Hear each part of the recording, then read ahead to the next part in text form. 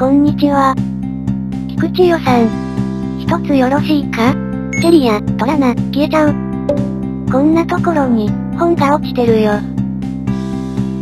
ペラリ。突然箸に興味持って、手、出すよね。チューチューチューや。箸にも棒にも触れるってことなのかな？チューチューューや。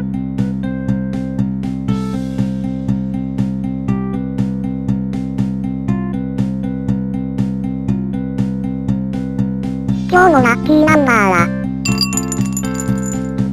うるするるの、かわいい人、元気の出る、元気を与える曲だよね。だからなんなのさだからなんなのさ